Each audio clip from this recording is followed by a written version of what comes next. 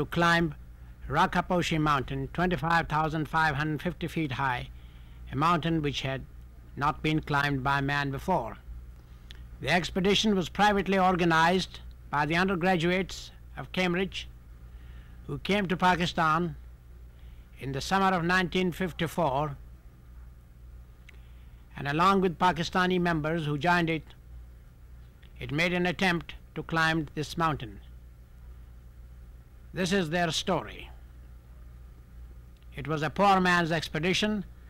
It was entirely a private enterprise, and they didn't have many funds either to support them.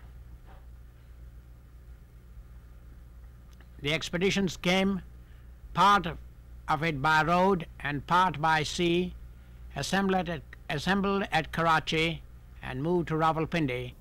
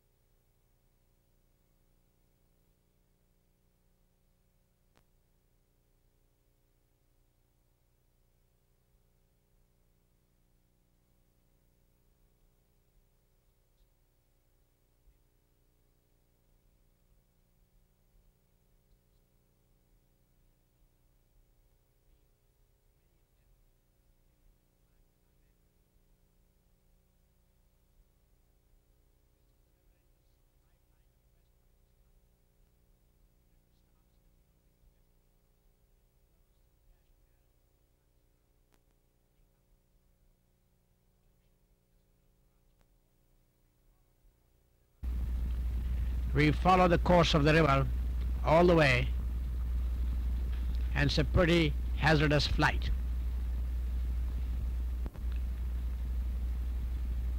In the distance is Nanga Parbat, a world famous mountain which was climbed by the Germans in 1954. We're getting Gilgit, our destination. You these, these small villages tucked in the mountains all the way the life is pretty hard for these people. Gilgit Airport is a very small one with a river on one side and mountains on the others. And these aeroplanes just manage to get in and get out. Sometimes these aeroplanes can't even get in. And the arrival of the aeroplanes is always an occasion for celebrations. The local dignitaries, friends, relatives, they all come and receive the passengers who have arrived and there is a bit of a ceremony. Generally, the guard turns out and is received by the dignitary.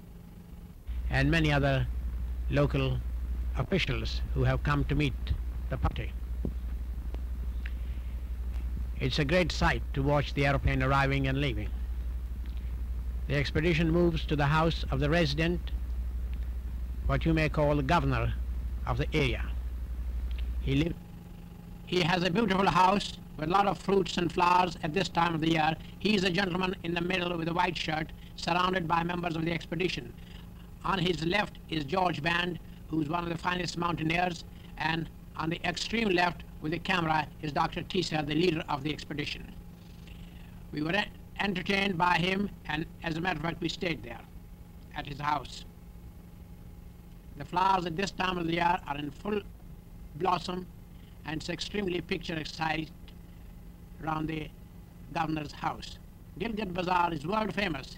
It is a famous caravan route to Kashgar, Central Asia. Now, of course, no longer available to the free world because it's behind the Iron Curtain in Red China. But the bazaar is still full of people, tribes, and men from many parts of Central Asia. The expedition starts from here on its way to Baltit. This is the Gilgit River, and the bridge is just wide enough for a jeep to go across it. And the road from there onward is part of the way, dry riverbed.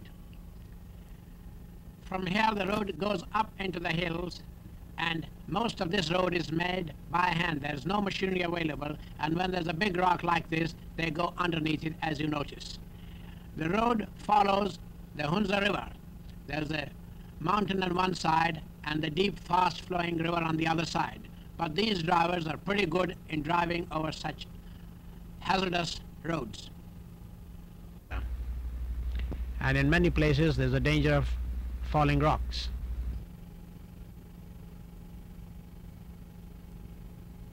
River, not Gilgit River. Quick speed, which is rather frightening for those who are not used to this kind of roads. And you find often the driver has one foot hanging outside in case something happens, he's ready to jump off. Fortunately, such things don't happen often. In the distance you see Rakaposhi, the object of the expedition, one of the famous mountains in this part of the region. And this is another type of the bridge used commonly for crossing the Hunza River. You see it's being operated by hand. The bucket carries hardly two persons at a time. It's a pretty slow job, but nothing better is available. In due course, it is hoped that a bridge will be put across here. These Hunza Kotis and, and Nagar people are extremely helpful and willing. Roger Chorley and Fraser are riding in the bucket. Fraser, two years later, was killed in Nepal in a mountaineering expedition. Roger Chorley nowadays lives in New York. In the distance, we now see Chalt, which is the summer capital of Mir of Nagar. And that's the view of a glacier showing the way up to the peak Rakaposhi in the distance.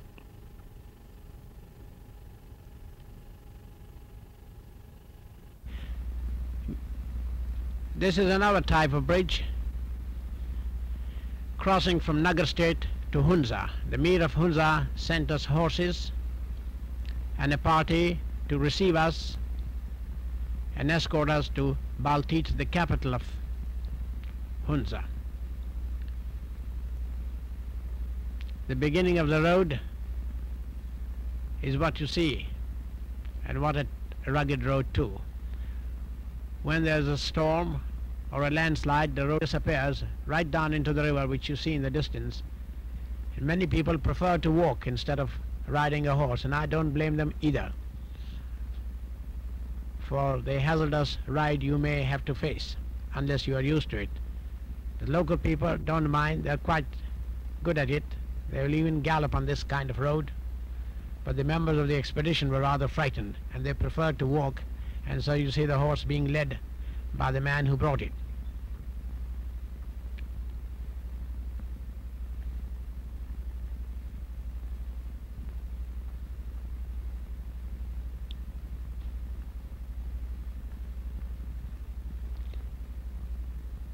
Now we are nearing Baltit, the capital of state. Every inch of available land is used for irrigation. The loads were carried on the back by Hunza Kotis and these boxes were made in England, each weighing 60 pounds, serially numbered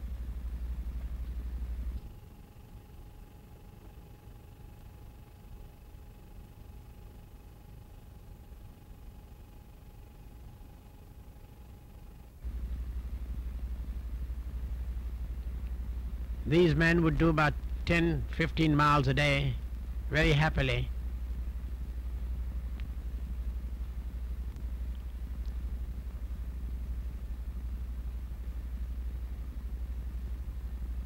Hunza is very fertile and so is Nagar. But Nagar has more water and Hunza hasn't got water. These are the two states on each side of the Hunza River which divides the two territories. Now you see another kind of bridge. One of the members crossing it and many a times there are some planks missing. And it's not very easy to cross the river if you're not used to it with missing planks in the bridge. and there is one me- member who's, ha- who's having some difficulty in doing it. There's always a man at the far end waiting for him in case he gets into difficulties. The water is pretty fast at this time, rushing from the mountain tops. The local people are so used to it that they can walk almost with their eyes shut. In the distance is the Golden Peak, still not climbed by a man, and it's over 24,000 feet high. It's called Golden Peak because the sun, when it shines against it, gives it a golden effect. The expedition is now arriving at Nagar, the capital of Nagar state, where we were invited by the Mir to be his guest and to attend the harvest festival, which is called Ginani. This is held every year to celebrate the harvest festival. It is like Thanksgiving in United States.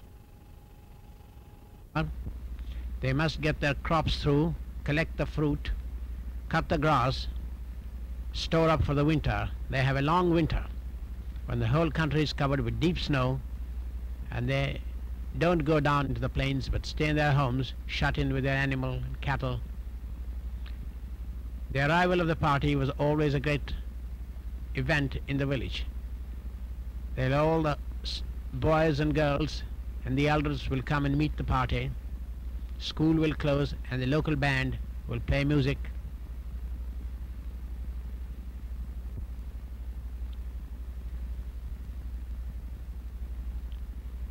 In the distance, the flag represents the five valleys which are in the state. This is the Mir himself, a very fine horseman, a first-class gentleman, and a great sportsman. And a most hospitable host.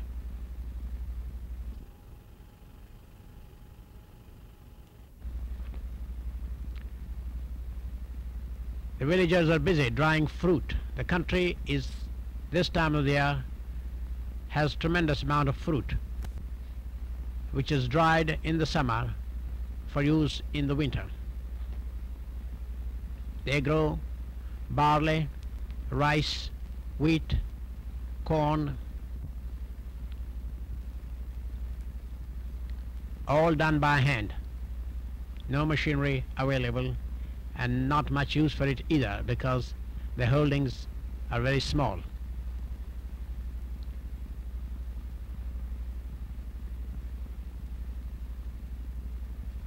It's a pretty slow process, but they don't waste anything.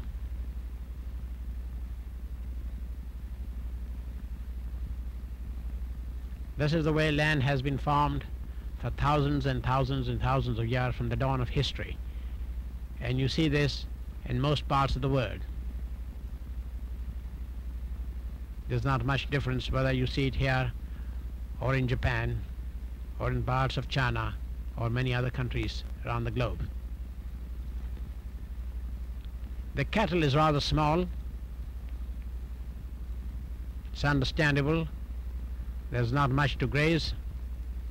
They're pretty wor- hard worked.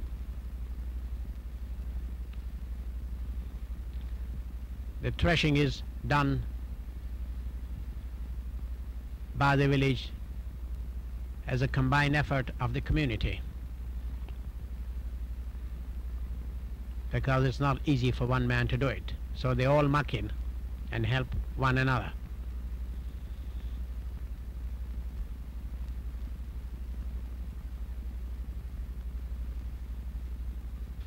Every, everything is used, either by the man or by the animals or as a fuel.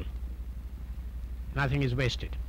And they can't do it, can't afford to waste anything with the small amount of land that is available.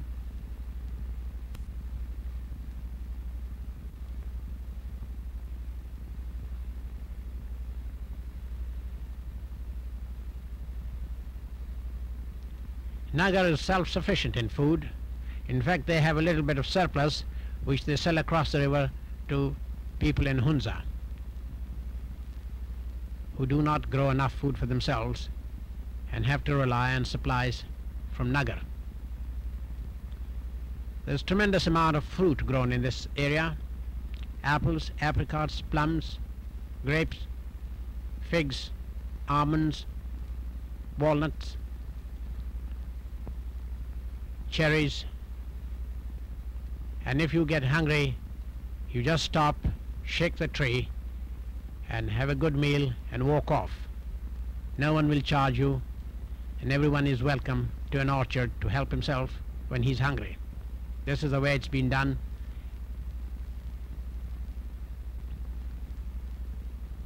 They have so much fruit that they even give it to their animals to feed them. What they can't eat, they store up for the winter, which they must do. But it's delicious fruit. And you find fruit trees all along the roads everywhere.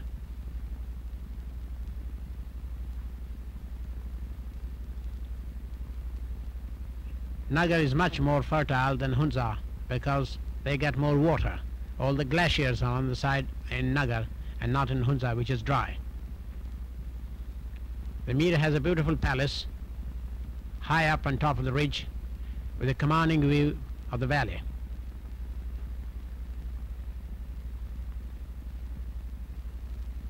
They don't have any professional fruit pickers. All that you do is make one or two boys to climb the tree and shake it hard, and the rest are busy collecting it.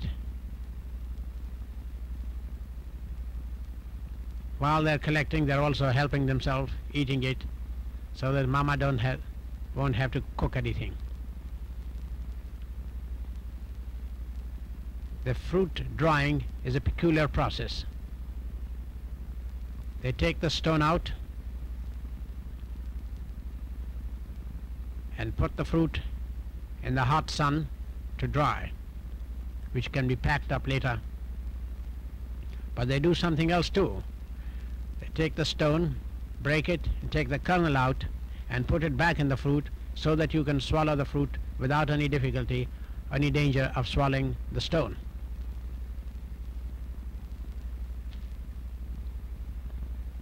They are back putting it back into the fruit.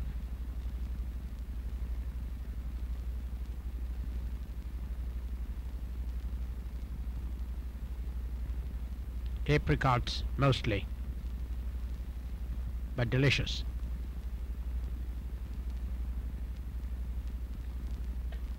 I wonder if a machine will ever be invented which can do all this without touching by hand.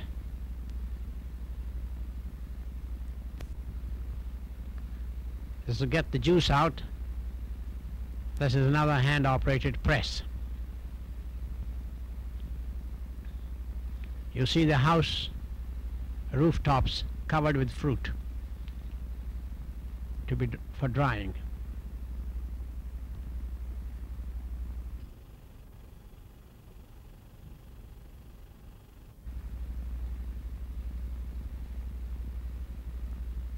The village workshop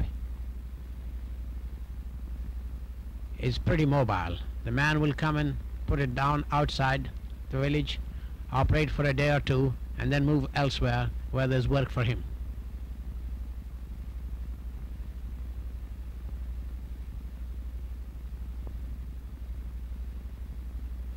The economy is run mostly on barter system. He doesn't take any money, but would prefer to take something in kind. And here's a hair comb being made using toes and fingers.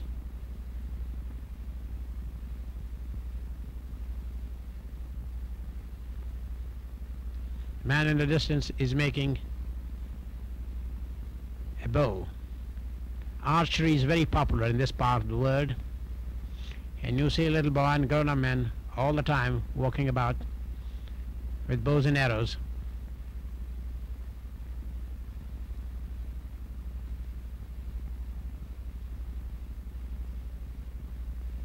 I wonder if many people will recognize what this man has. There's a pitchfork.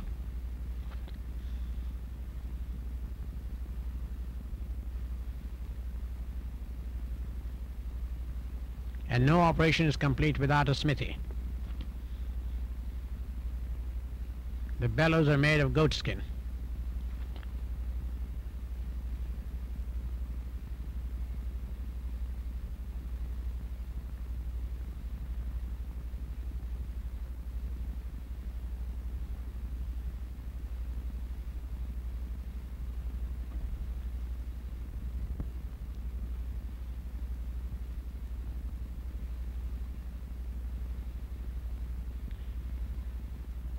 The weaver is a pretty busy man at this time of the year.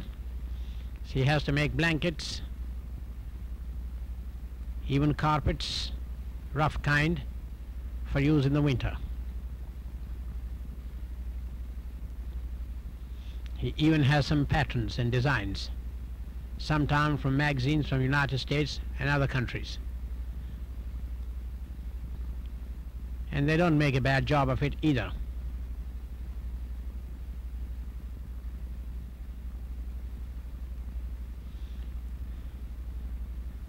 You can order what you want. It'll take some time for, it, for him to make it, but he'll make a try anyhow.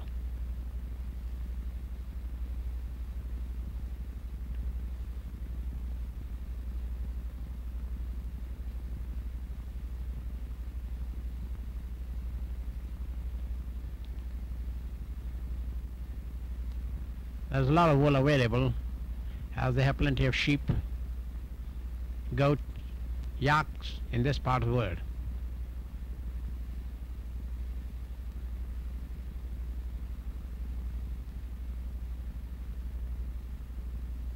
Sometime he'll have his own design, copying some animal or tree or something he has seen or taken fancy to. The shoemaking industry is very much a one-man affair and this man will come and sit outside your house and make a pair of shoes for you from the local hide and skins which are available. It doesn't take very long to get a pair of shoes made according to the size and design required. It Doesn't charge much either for it. In most cases, it's a system which prevails.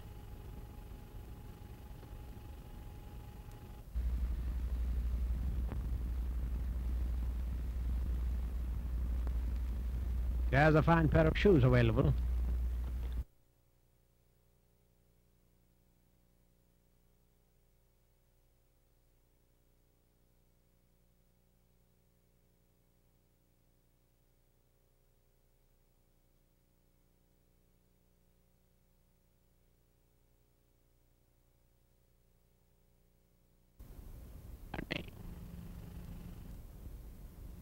The Mir holds his court every now and again, and it is an open court.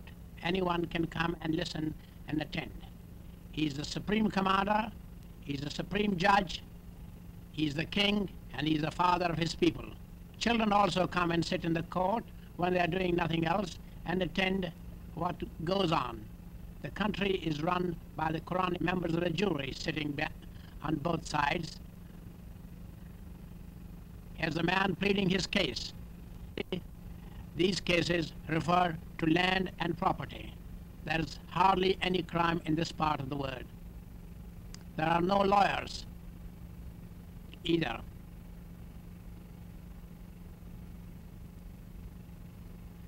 The justice is swift and immediate. The members of the jury give their opinion. The man with the white beard is the prime minister and you see him later on also taking part in many activities. Some litigants are very vocal. This is one of them.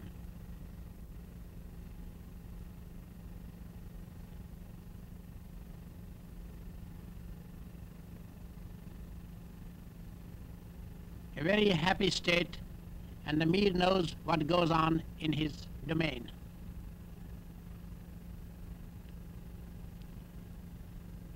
Incidentally, in this court, there is no Fifth Amendment either.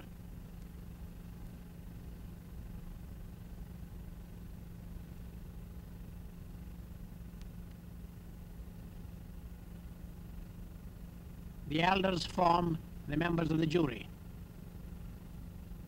Sometime a written document is also produced as evidence, which is read out.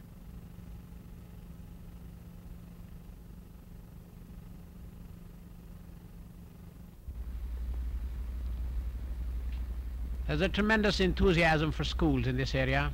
More and new schools are opened every day.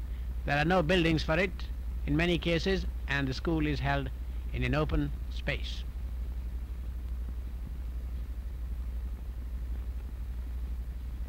The education is free.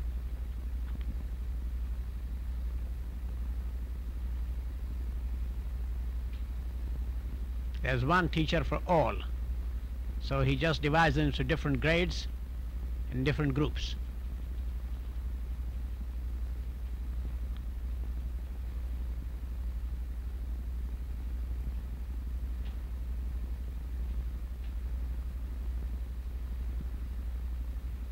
This boy doesn't seem to, he's done his homework. The boy with the coat is the son of the Mir, and a very fine horseman too a fine lad who took great interest in the expedition. Polo originated in this part of the world, and here's the polo team going to the polo field.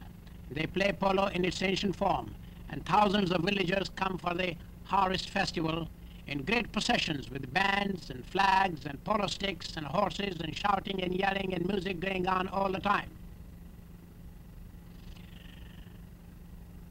Every village has a polo team. And the band, of course, is always in attendance and all, at all these functions. And as usual, children standing behind watching the fun. They wear fancy clothes too for the occasion. The Mir is the host for everyone. He feeds them for these two, two days, and the food is centrally cooked. A yak is slaughtered every day and everybody is Mir's guest for these days.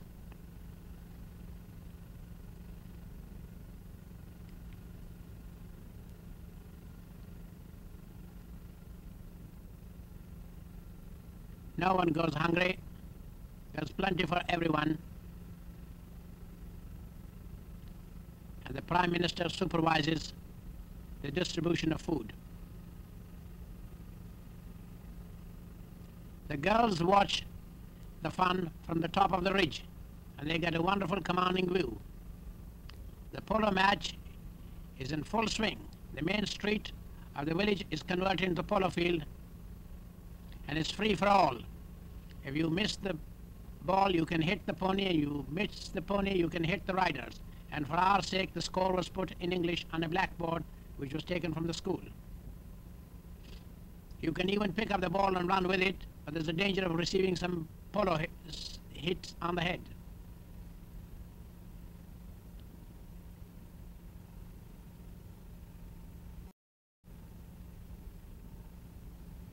Archery from a galloping horse is another popular sport in this part of the world. There's a white marker to be shot at. There's Mir coming himself. He's almost got it.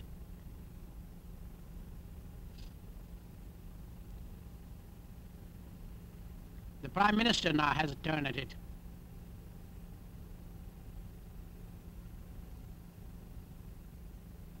They say it's good for the drums to be warmed up. Produces apparently better music. Tent pegging is another event.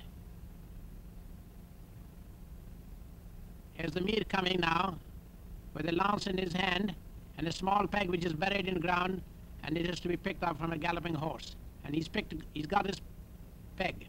This man got his one too.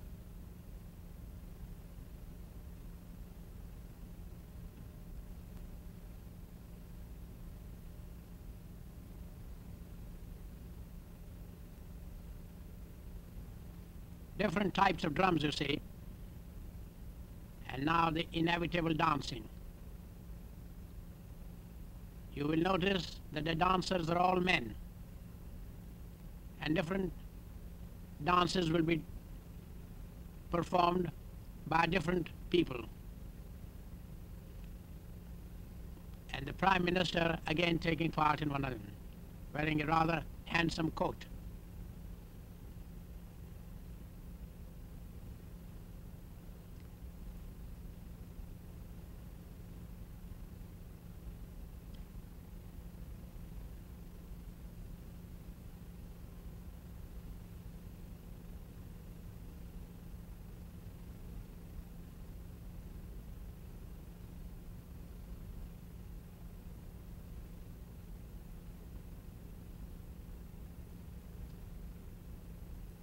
Some are slow and some are fast and some are solo and some are many join. Sword dance is the next event. It's very popular. And these are real swords and pretty sharp.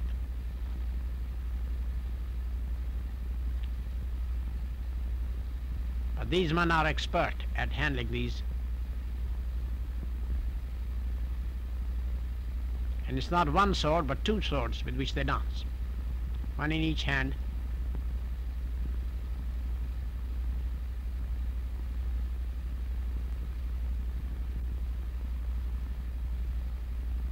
The children love these shows. The schools are closed.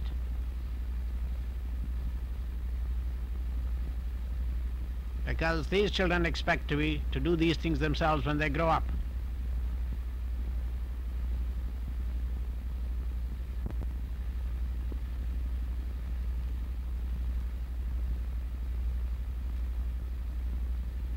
Here's our friend, the Prime Minister again.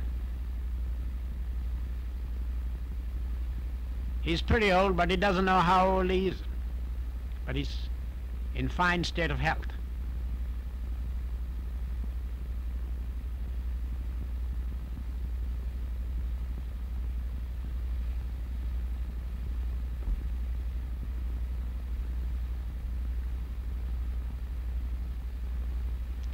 There are no birth certificates maintained, so it's difficult to know the age of a man. He can only guess.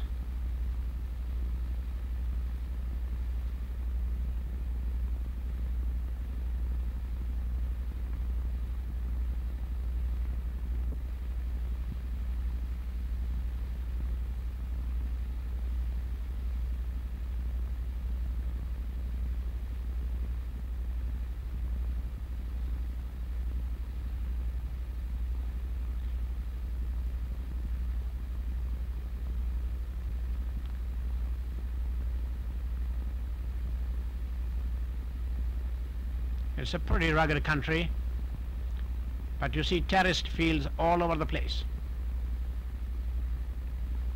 And the Hunza River cutting through on the way to join the Gilgit River near Gilgit.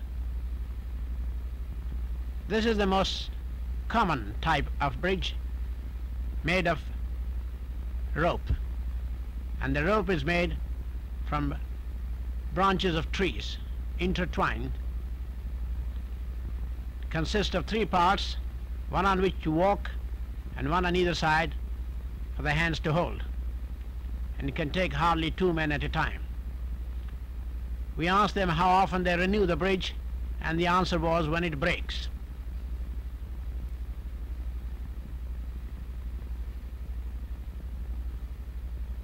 They last, I believe, a season.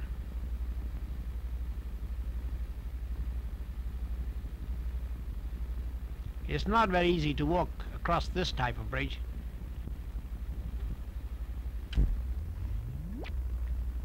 The expedition is now on its way to the mountain.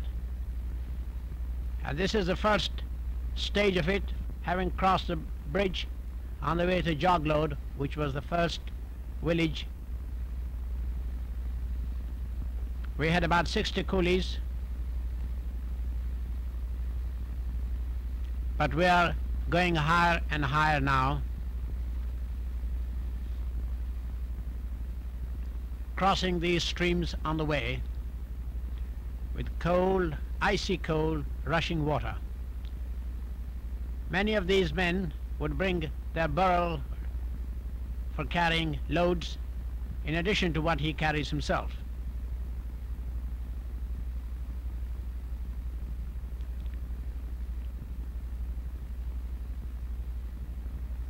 We were going higher and higher now.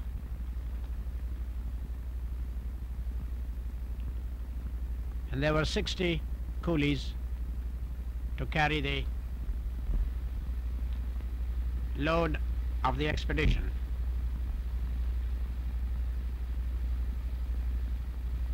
Wildflowers were in full blossom at this time of the year.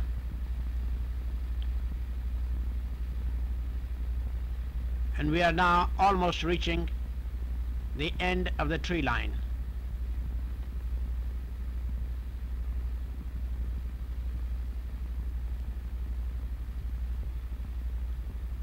having done climbed about 10,000 feet.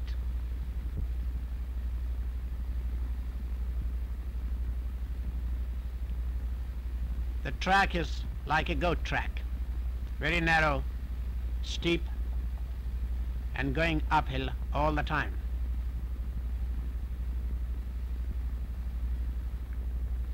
We have passed Jaglot village, which is the last big village, and now entering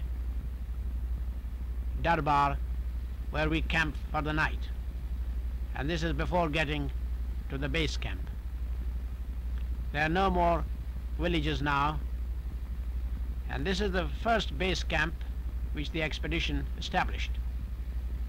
About 12,000 feet high.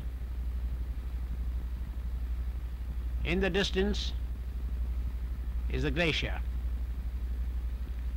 rising towards Rakaposhi.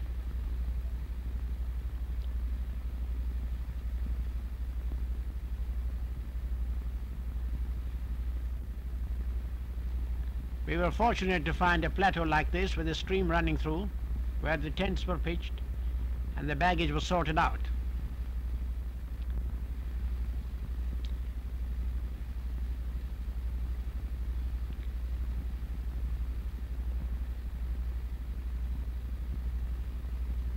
The coolies were sent back home and the porters who were to stay with us started the work on their own. We were fortunate in finding a Hunza who said he was a cook. It took him some time to, to know what cooking was, but I must say that he was extremely intelligent. In no time he became pretty efficient in cooking most of the things that were needed. Making a chapati, which is like a pancake,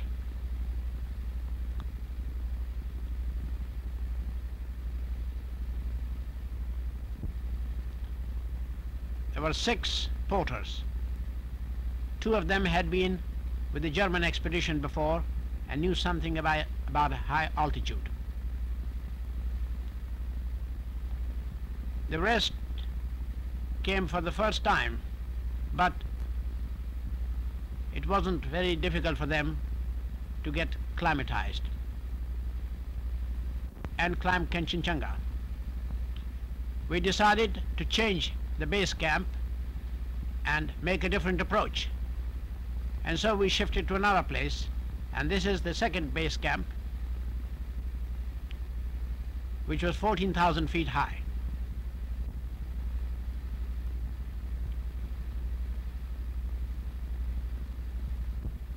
We had a stream running through the camp where water started flowing at about 3 o'clock in the afternoon. When you are on a mountain, there's hardly any privacy between the members.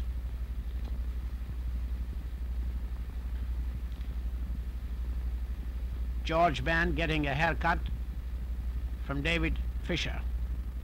Incidentally, he's one of the finest climbers in the world, having climbed Everest, Kinchinjunga, and many other peaks.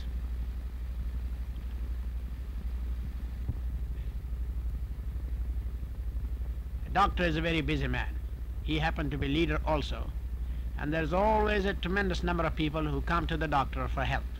The villagers were always coming, every day coming, to ask for medicine and kept him pretty busy.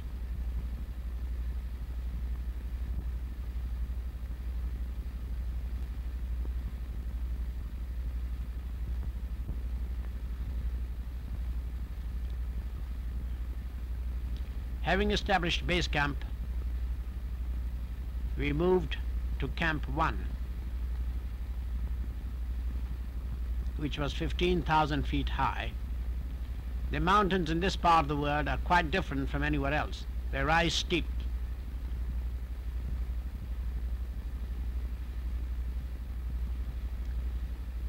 See our porters still carrying a lot of baggage to Camp 1. We pass a tree line.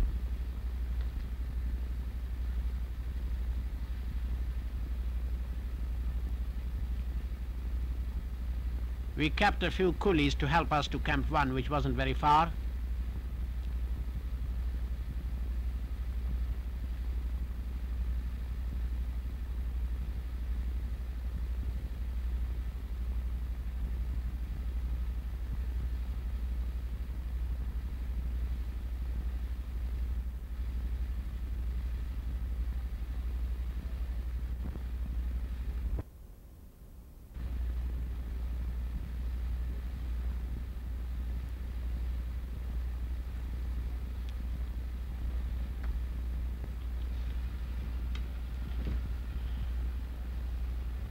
This is now moving to Camp 2, 17,000 feet high. A rope had to be fixed to make it easier, especially for the porters.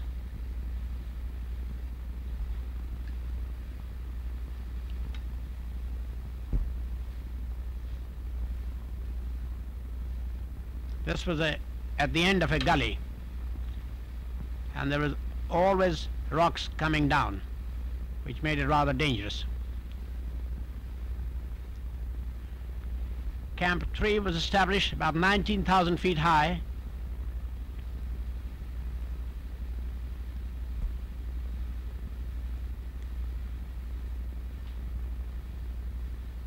The snow was deep.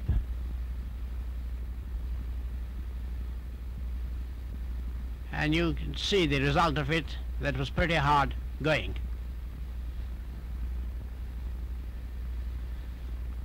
There are two members in the distance nearing the top who've gone ahead.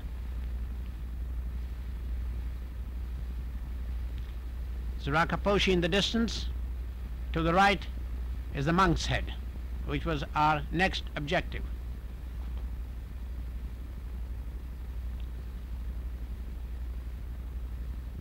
There wasn't much room for camps on them uh, at this place, but we were able to flatten out a piece of ground and make a dump of stores.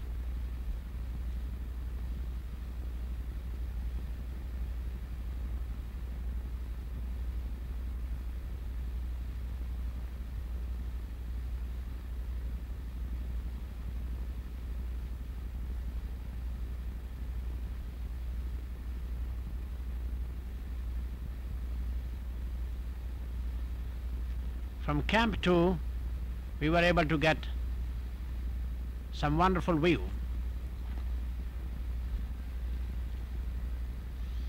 As moving from Camp 3 to Camp 4, which was about 19,000 feet, and going around a cornice. This is where the expedition met its first misfortune, Wrangham and one other porter, as they were going over a cornice, having gone there before, the day before, they met a disaster. The cornice broke and Wrangham fell down about 60 feet and he had to be retrieved later on with the help of the others when they arrived. But this put him and the porter out of action. They had to be evacuated all the way back to the base camp.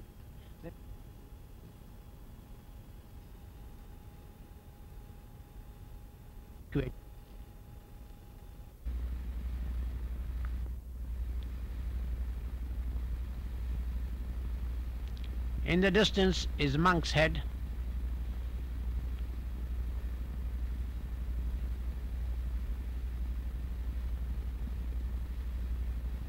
We're trying to get there to establish Camp 4 and 5.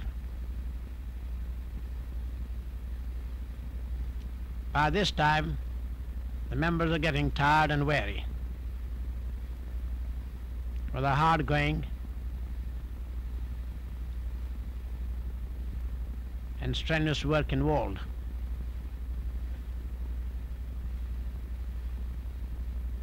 With Wrangham and two porters having gone, we had another unfortunate episode now that the bad weather started.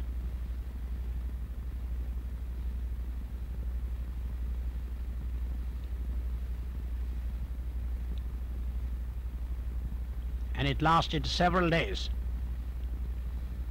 which forced us to abandon the peak and come back.